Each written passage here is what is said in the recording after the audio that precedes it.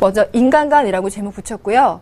기본적으로는 불가에서는 모든 인간은 불성을 갖추고 있다고 봐요. 부처가 될 수 있는 가능성, 불성을 이야기하거든요. 그리고 이 진흙탕 속에 피어나는 한 꽃, 하나의 연꽃처럼 맑고 깨끗한 존재라고도 설명합니다. 그런데 아까 부처가 이야기했듯 인생은 고라 그랬잖아요. 왜 이런 존재가 그 고 속에 살아갈 수밖에 없는가를 설명하기 위해서 이 요소들을 알아야 돼요. 자, 먼저 오, 온으로 가겠습니다. 온은 5, 다섯 개에다가 온, 쌓인 거예요. 뭐가 쌓였느냐? 인간이라는 존재에게는 이 다섯 가지 요소가 쌓여 있는데요. 색수 상행식 처음 나왔기 때문에 개념을 알기 위해서 의미를 이야기하지만 외울 필요 절대 없습니다. 들어보세요. 색이라고 하는 건 물질적인 존재로서의 인간이 갖고 있는 육체를 이야기해요. 육체를 갖고 있다 정도로 이해하면 되겠네요. 그럼 여러분들 육체를 갖고 있는 거 어때요? 여러분들 지금 눈으로 절 보고 있죠. 그리고 목소리도 듣고 있죠. 아, 목소리가 어떻다라고 느낄 거예요. 그렇죠? 여러분들 책상 위에 뭐 커피가 하나 놓였다면 커피 향이 좋다라고 느낄 거고요. 육체를 갖고 있기 때문에 감수 기관으로 항상 느끼면서 살아갈 수밖에 없거든요. 그걸 느낌 수라고 표현할게요.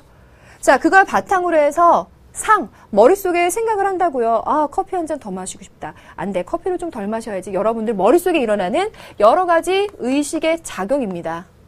그 의식 작용을 바탕으로 해서 여러분들은 의지를 갖고 그걸 행동으로 옮겨낼 거예요. 그렇죠?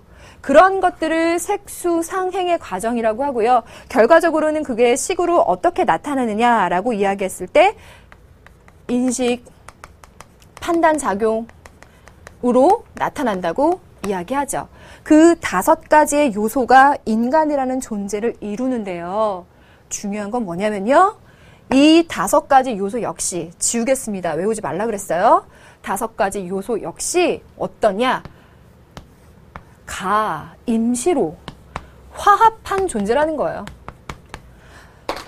이 육체적인 존재부터 의식적인 것까지 임시로 다섯 가지가 모였다가 또 이것이 변화하면서 흩어졌다 모였다 흩어졌다 모였다. 어제의 저와 지금의 나는 다를 것이고 지금의 나와 또 내일의 나가 또 다르고 인간들의 존재라고 하는 건 이 다섯 가지 요소가 임시로 모였다가 흩어지는 과정이기 때문에 결코 고정 불변한 존재가 될 수 없다는 거예요. 따라서 그런 고정 불변하는 존재, 고정 불변하는 나에 대해서 집착하지 말아라 라고 하는 것이 불교 이론이죠.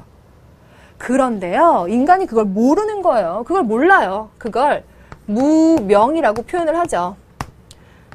안일무. 이건 밝다는 표현이잖아요. 어둠에 가려져 있는 거예요. 내 머릿속이, 어, 이 세상 모든 것, 인간이라는 존재가 이렇게 항상 변할 수밖에 없는 존재라는 걸 모르고 집착하면서 살아가는 거예요. 그러니까 괴롭다라고 얘기해요. 그럼 여러분들 질문 하나 해볼게요. 그럼 부처가 인간들은 왜 괴롭게 살아가느냐라고 이야기했을 때 가장 중요한 원인을 말하라면 뭐 때문에? 집착 때문에 괴롭다라고 말하는 거예요. 이걸 몰라서 집착하는 거예요. 그걸 이야기하는 또 하나의 이야기가 있는데요. 삼독, 이번엔 three. 세 가지의 독이에요. 인간한테 세 가지의 독이 있는데요. 자, 첫 번째 구분되시죠? 첫 번째가 탐욕이에요. 탐욕. 탐나는 거. 탐내는 거. 여러분들 탐내는 무엇인가가 있을 거예요. 그리고 진애라고 하는데 탐내고 성내는 것을 진, 진애라고 얘기해요. 그리고 어리석은 것을 우치라고 이야기하는데 그걸 간략히 말해서 탐, 진치, 탐내고 성내고 어리석은 세 가지의 독 때문에 인간들이 괴로움, 괴로움 삶을 살아갈 수밖에 없다라고 이야기하죠. 자, 그럼 이 인간관을 보니까 아, 원래는 이런 가능성이 있는데 이걸 몰라서 그리고 탐진치를 못 벌어서 그래서 괴롭다는 거구나. 라고 하는 불교의 이론이 좀 이해가 되시죠?